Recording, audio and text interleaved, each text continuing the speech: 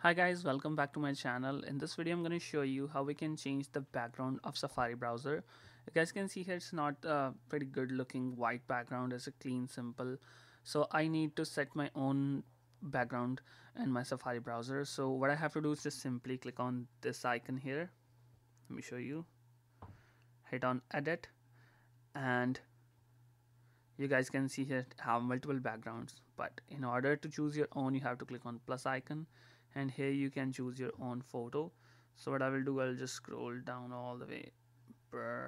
And here I can have the option to choose my own background and I'll select the photo and that's it. There we go. I have my own background Safari browser. So again it's really simple. I'll show you how to do it. Open the Safari browser swipe up. You have to click on edit button here. And here you guys can see here background image just turn this option on and you will have the background image. I mean you have to set your own photo.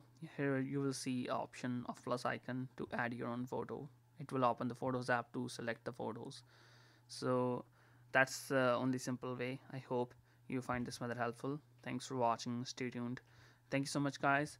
And also if you want to remove all these suggestions hit on edit button here and here is showing suggestions. Just turn this option off and you will have clean look of your safari.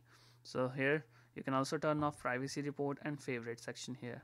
So if I turn off privacy and favorite section there we go. We have nothing and clean uh, safari. So here I can just simply go and search.